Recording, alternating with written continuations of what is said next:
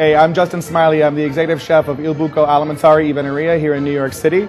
Uh, and today we'll be demonstrating the Berkel X13 slicer. What we love about this slicer in the restaurant is its ease of use, the variability of slicing, how easy it is to clean. And it's important to us to have the best slicers because we cure all our salumi in-house, we sell in our alimentari.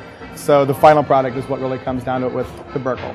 The first thing we're going to slice today is some of our house cured salumi. The great thing about this slicer is that how safe it is for all your employees to use and how it actually helps you kind of line up smaller cuts. And again, it's all about versatility. Really smooth action, easy to use, and a very consistent, even slice. Now take a look at this. Fantastic. So the next thing that we're slicing right now, after removing the safety fence, and slice some lardo, which is the cured fatback of the animal. What makes this machine so amazing is it never really cooks the fat. So you get smooth, even slices every single time. The next piece of meat that we're to do is the medium format Toscana.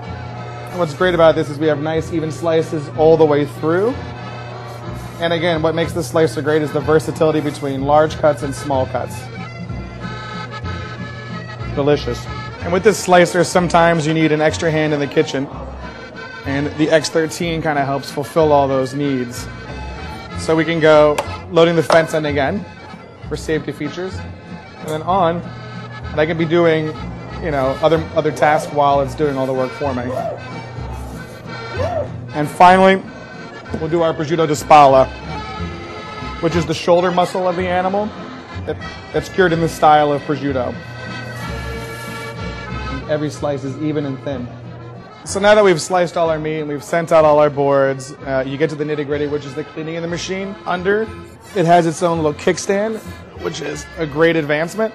And then in the machine itself on the work table, there's a very wide open architecture which makes it very easy to clean. Also really quick to wipe down controls. And what must be said about the Berkel X13 is how easy it is to sharpen. You just add on, super easy to clip in, sharpening mechanism.